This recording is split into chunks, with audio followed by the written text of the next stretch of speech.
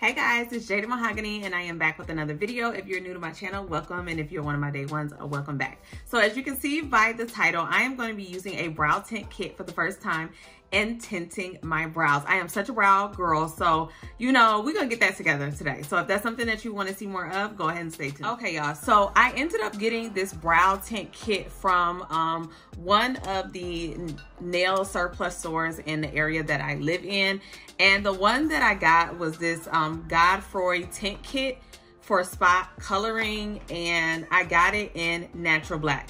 It contains three, 20 pre-measured color capsules, cream developer, reusable application brush, a mixing cup, and instruction sheets. So I have the kit and I'm gonna wipe off my brows with some of my um, MAC cleansing wipes.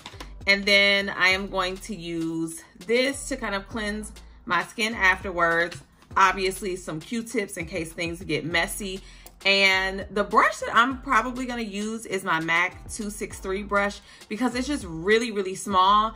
Um, you could use like the Morphe M432 brush. It's not an angle one, but it's pretty um, thin and flat. So, and this is my Jessup brush off Amazon. So any brush that kind of resembles these will do.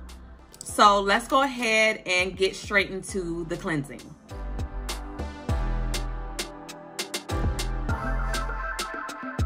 Okay, so I want to show you guys what the contents in the box look like.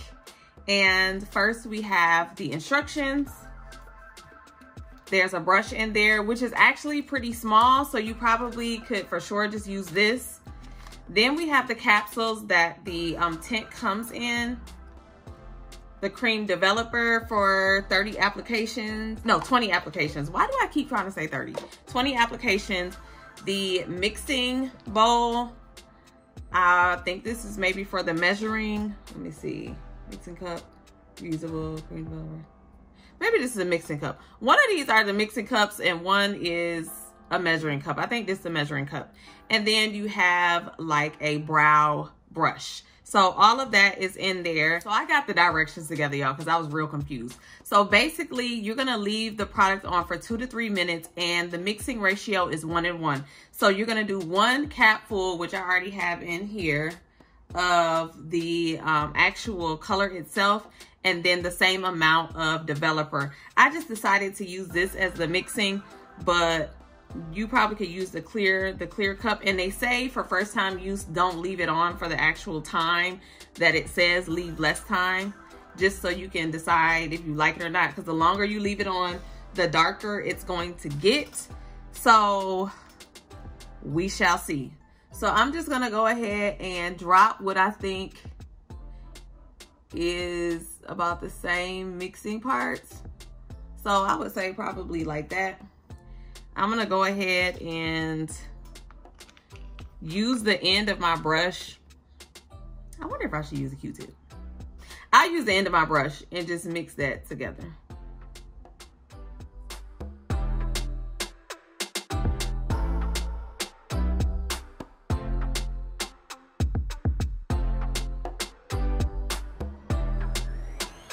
Okay, so I have everything mixed up and it looks like that and let's go ahead and start with the first brow. Now, if you're new to things like this or you're not good with your brows, I highly suggest you either one, base around your brows with or trace your brows with maybe like a white pencil so you know not to go outside of that line or you can use Vaseline or something along the lines of that just just so you don't mess up nothing. So there's my disclaimer. That's just my professional advice.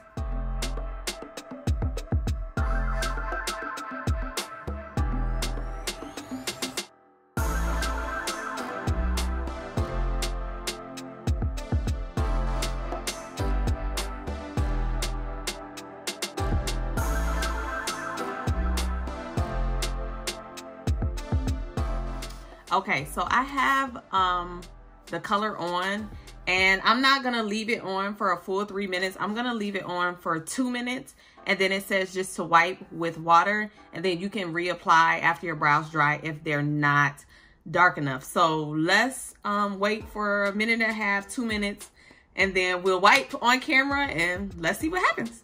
Okay, so I feel like it's been enough time. So I'm gonna take some of my um, Evian water and spray it on this cotton round and just saturate it really good.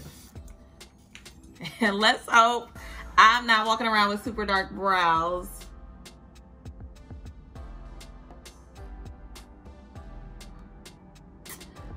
Okay. Oh, wow. Wow, y'all. I am shook. Yo, this looks so freaking good. Now, it is darker than I probably would normally go on a regular basis, like if I was to fill in my brows. However, comma, I feel like it's gonna wear off because I wear a lot of skincare and stuff like that. And I do wash my face quite a bit. So that, y'all, listen, I just did something. I really just did something and I really just put y'all on like I did. So we're gonna let it dry, but I'm gonna wipe it one more time and I'm gonna put on a little bit of makeup because I'm about to go to work and then we'll come back with the finished look.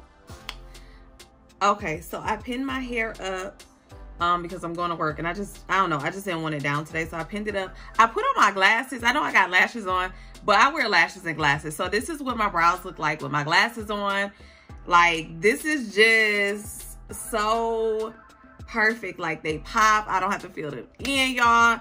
And then this is without without the glasses on, which is brows and a little concealer and gloss. And I feel like it's definitely giving a I woke up like this look and I'm loving that for me.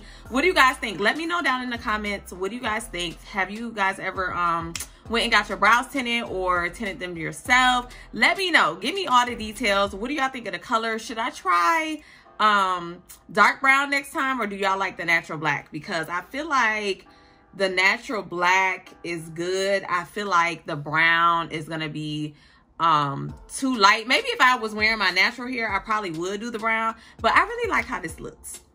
So I hope you guys really enjoyed this little quick video slash tutorial. Um, if I can find it online from a reputable source, I will link that in the description box. If I can't, listen, it's survival of the fittest. You can do what you will and find it yourself. But until next time, guys, bye.